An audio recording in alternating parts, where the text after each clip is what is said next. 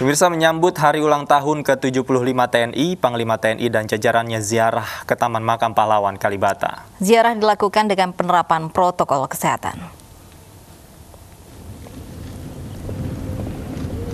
Panglima TNI Marsikal TNI Hadi Cahyanto hadir bersama Kepala Staf Angkatan Darat Jenderal TNI Andika Perkasa, Kepala Staf Angkatan Laut Laks Laksamana TNI Yudo Margono, serta Kepala Staf Angkatan Darat Marsikal TNI Fajar Prasetyo. Ziarah dilakukan untuk memperingati hari ulang tahun ke-75 tahun TNI pada 5 Oktober mendatang.